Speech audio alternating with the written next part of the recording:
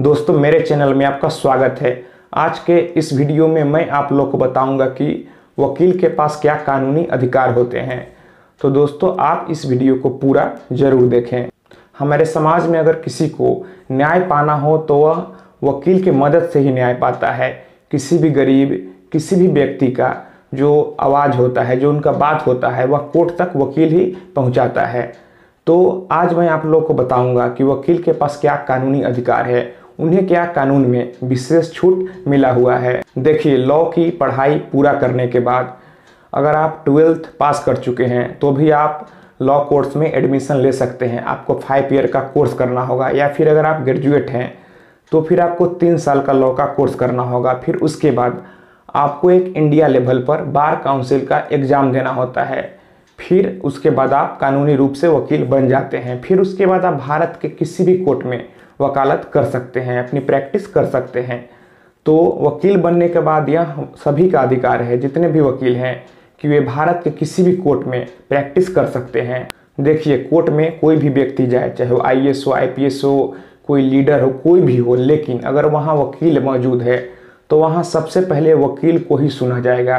Court सबसे पहले वकील के बात को ही महत्व देगा। एक सबसे इंटरेस्टिंग बात की वकील को गिरफ्तारी से छूट मिली हुई है। तो क्या आप बोलेंगे कि क्या वकील को पुलिस गिरफ़्तार नहीं कर सकती है? देखिए, कोई भी वकील अगर कोर्ट जाता है तो फिर कोर्ट जाते समय किसी भी वकील को पुलिस गिरफ़्तार नहीं कर सकती है। या फिर अगर कोई भी वकील कोर्ट में मौजूद है, उस वक्त भी पुलिस उसे सिविल केस में गिरफ़्तार नहीं कर सकती है। तो अगर वकील के खिलाफ भी कोई भी सिविल केस दर्ज हो तो फिर कोर्ट जाते समय या फिर कोर्ट कैंपस में पुलिस उसे गिरफ़्तार नहीं कर सकती है।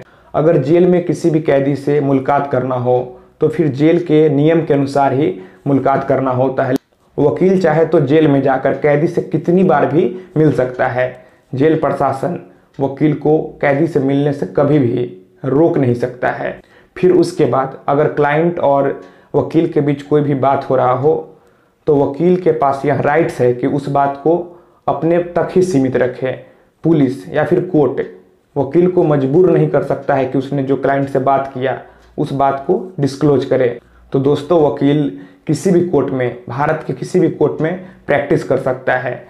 उसे कोर्ट जाते समय या फिर कोर्ट कैंपस में पुलिस सिविल केस में गिरफ़्तार नहीं कर सकती है। वकील चाहे तो कैदी से कितनी बार भी जाकर मिल सकता है। जेल प्रशासन उसे ऐसा करने से रोक नहीं सकता है। तो दोस्तों, अगर आपको ये वीडियो पसंद आई हो तो आप इस वीडियो को अपने दोस्तों और रिश्तेदारों में भी शेयर कीजिए।